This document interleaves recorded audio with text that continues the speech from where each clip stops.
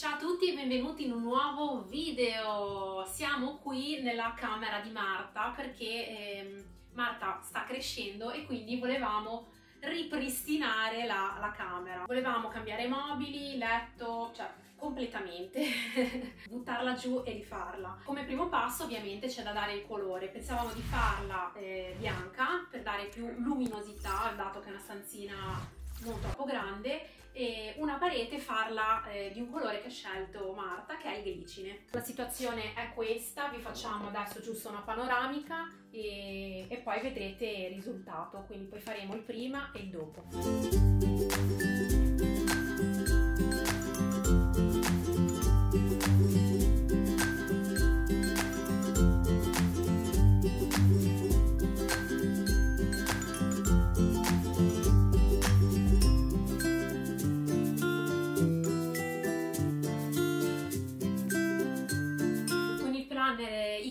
Abbiamo già provveduto a fare il, il, progetto e infatti pensavamo di arredarla Ikea, abbiamo già scelto i mobili e tutto quanto. Come primo passo adesso bisogna un attimino sgomberare e, e poi dare il colore.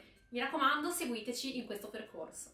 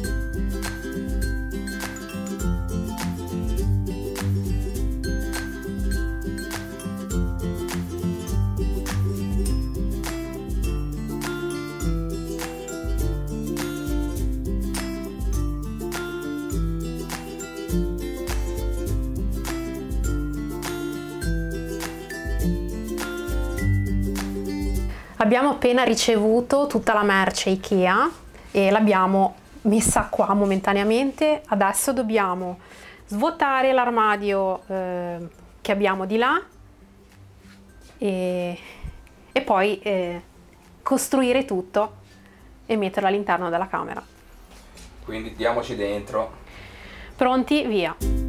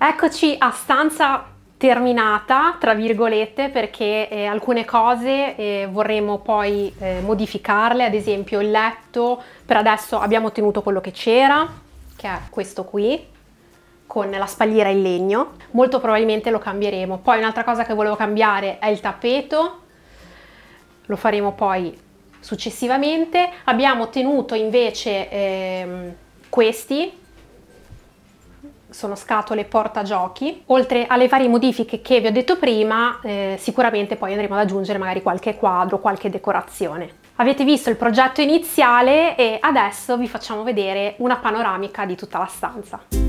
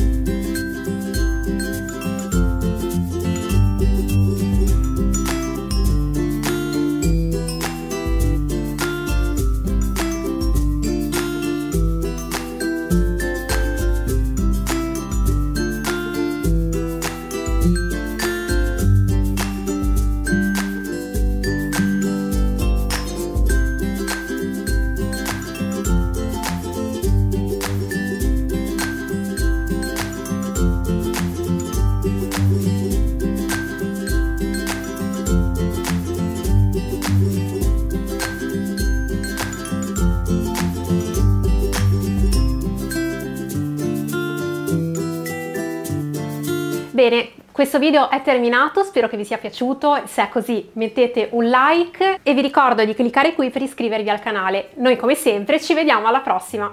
Ciao! Ciao.